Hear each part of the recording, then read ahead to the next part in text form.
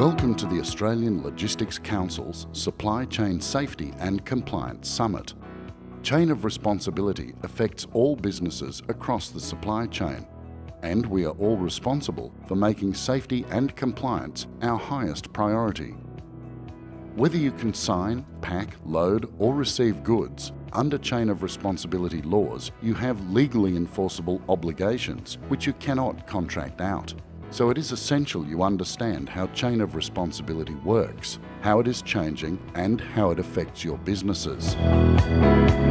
At today's summit, you will engage directly with government and industry leaders on key policy issues. Stay ahead of the latest regulatory changes.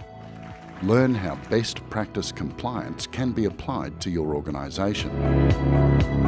During tomorrow's workshops, you can participate in interactive sessions to ensure chain of responsibility compliance is central to your day-to-day operations.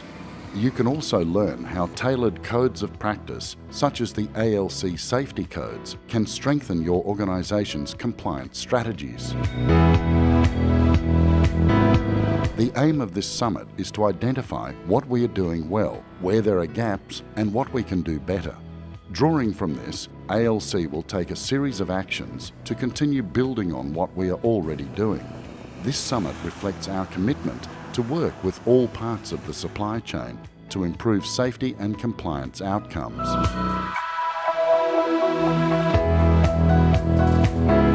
As an industry, we need to put more effort into ensuring all supply chain participants meet their obligations under the Heavy Vehicle National Law.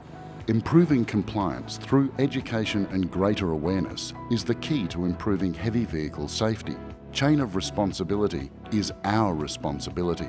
Together, as an industry, we can make our supply chain safer and more compliant. And now, to officially open the Supply Chain Safety and Compliance Summit, Chair of the ALC Safety Committee, Ingleby Dixon.